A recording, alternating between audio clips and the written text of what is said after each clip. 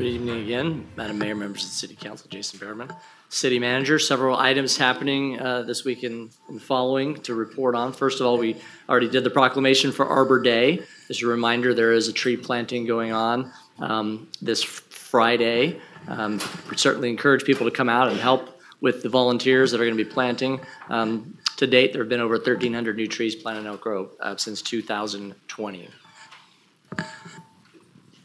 Uh, Youth Commission is accepting applications for the 2023 Scholarship Awards through Monday, May 1st. Four scholarships valued at both $500 and $1,000 will be awarded in three categories.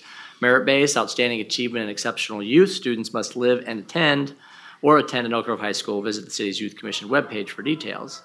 Um, Big Day of Giving is coming up. Over the past year, the city's provided funding and services to over 39 or for, for 39 local nonprofit organizations valued at more than 1.4 million dollars.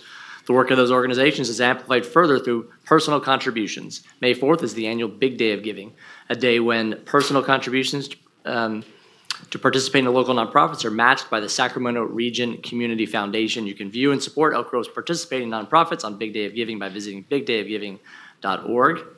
The Strategic Planning and Innovation Office is currently recruiting residents and business owners to participate in a new Climate Ambassador program. These are compensated positions for those interested in issues centered around climate change, environmental justice, equity, renewable energy, clean transportation, water conservation, and recycling and waste. Climate ambassadors will communicate with organizations, groups, and individuals on how Elk Grove can be a healthier, more sustainable, and resilient city. For more details, visit the city's website.